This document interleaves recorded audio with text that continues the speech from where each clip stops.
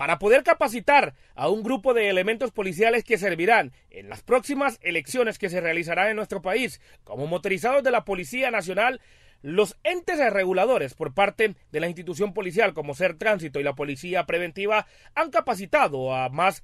de una decena de elementos policiales que servirán como refuerzo a las acciones que se tienen comprendidas. El jefe de tránsito en la zona norte manifiesta que ellos han instruido a los nuevos motorizados para que puedan realizar una buena labor. Así es, efectivamente, y principalmente debido a eso, pues se, está preparando, este, se está finalizando este curso, hoy es la clausura, eh, un curso de motorizado donde todos estos eh, compañeros policías van a andar haciendo su trabajo en las calles, en diferentes barrios y colonias de acá de la ciudad de San Pedro Sula, en motocicleta, que de una u otra manera facilita el desplazamiento, es más oportuna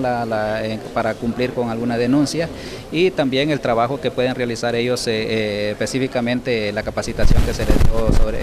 en lo que a tránsito se refiere. Bueno, eh, lo hicimos el área práctica, el área técnica que es de andar en, las calles, eh, el manejo, la prevención, eh, la conducción de las motocicletas, así como también la parte académica en lo que es la ley de tránsito, que deben de conocer la ley de tránsito, control y dirección de tránsito, qué hacer en caso de, accidentes de tránsito también, se les tocó un poco de temas sobre investigación de accidentes. Estos policías están capacitados para prestar ¿verdad? auxilio eh, en caso de que se encontraran en, su patrullaje normal de rutina con un accidente de tránsito. Ellos perfectamente pueden hacer eh, llamar, eh, facilitarles a los participantes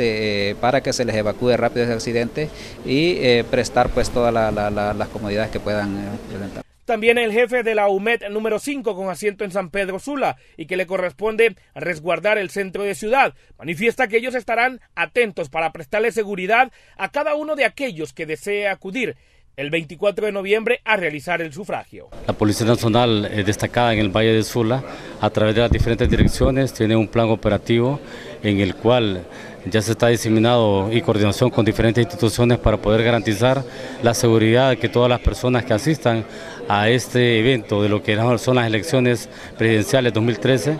se sientan seguras, se sientan que la policía va a estar disgregada en diferentes puntos y que va a garantizar esa seguridad. De esto se han hecho coordinaciones con diferentes instituciones.